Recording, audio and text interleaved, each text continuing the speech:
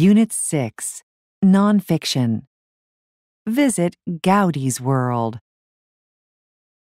The city of Barcelona in Spain has some of the world's greatest buildings. They look like they are from a children's storybook.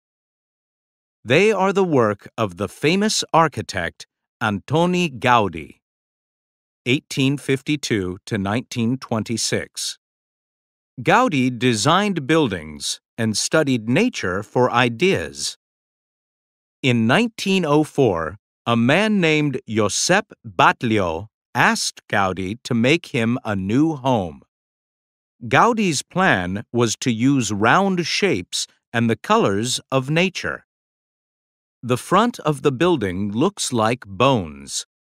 The colors Gaudi used are the colors of coral from the sea. The walls look like flowers on water. Gaudi also wanted to create somewhere for people to enjoy nature. In Park Güell, there is a famous sculpture in the shape of a lizard. There are stone walls that look like tree trunks. There is a bench in the shape of a sea snake. Gaudi's plan for Casa Milà was for the building to look like nature too. The front of the building looks like a stone quarry.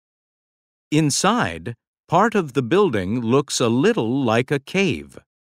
The building was home for the Milà family. Join people from all over the world. Come and see the buildings of Antoni Gaudi.